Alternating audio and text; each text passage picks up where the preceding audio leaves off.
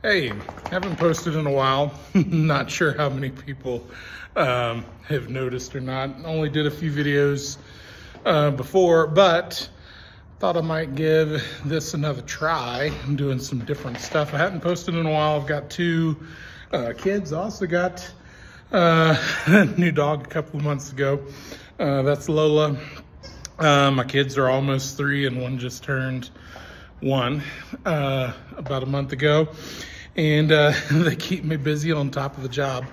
And uh, anyway, I was posting some videos on grilling and things like that, but uh, it's November right now. You might be able to tell it's cold. Uh, I'm in my uninsulated garage that I started trying to turn into a uh, home gym this summer. So uh, I got some horse stall mats. I, I literally just got this uh, uh, squat rack uh, like last week. Let's see, uh, got a couple of dumbbells, some plates. I uh, got a curl bar from a friend. let's see, this little thing here, Mat Fraser was a proponent of for some cardio. I got a couple of jump ropes and some resistant bands. Um, got these uh, gymnastics rings and the other stuff is from my daughter.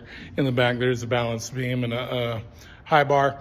But uh, what i just tried for the first time is something i got yesterday. Got the new uh, echo rower and the echo bike.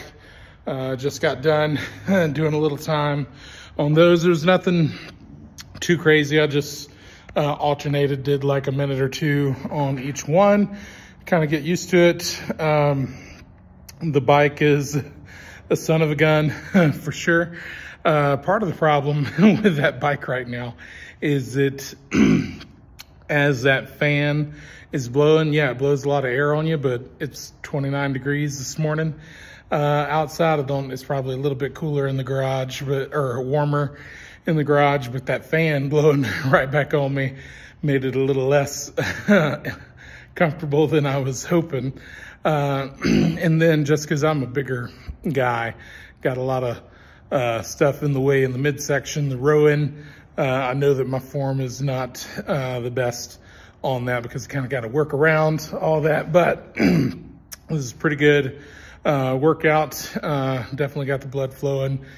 Uh, and we'll see what happens. Uh, just got these uh, Black Friday sales. The bike was $100 uh, off its normal price and the rower was 50 bucks off its normal price. So uh, needed something um, a little bit more cardio centric in here. That little hand thing that Mat Fraser um, advocated for is nice, but that's also just uh, kind of like an arm and a tricep workout uh, too, which is good. You know, I'm, I've had problems with my feet before, so I don't need to just like go out run um, kind of thing. So the bike and the rower, I figured were other good options that were low impact, but um, hoping to, uh, you know, lose a few pounds, maybe train. I would like to try to do a Hyrox, so we'll see how that goes. I've done some mud runs like Spartan and Battle Frog and Warrior Dash and things like that uh, in the past. But